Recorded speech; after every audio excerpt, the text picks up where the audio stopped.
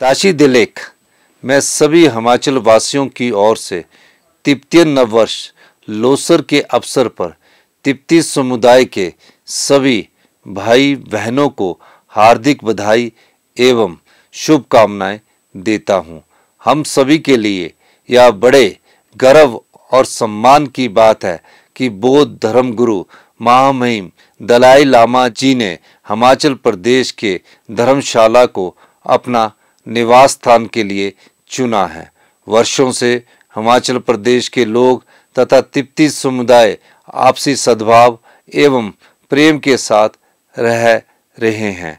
मैं कामना करता हूँ कि यह भाईचारा इस तरह बना रहे और तिब्बतीय नववर्ष लोसर हम सभी के जीवन में खुशहाली एवं समृद्धि लाए। जय हिंद, जय हिमाचल।